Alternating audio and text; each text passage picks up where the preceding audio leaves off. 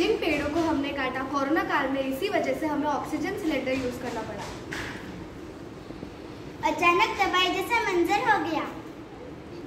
भाई सुनो पेड़ लगाओ वातावरण बचाओ पृथ्वी को बचाओ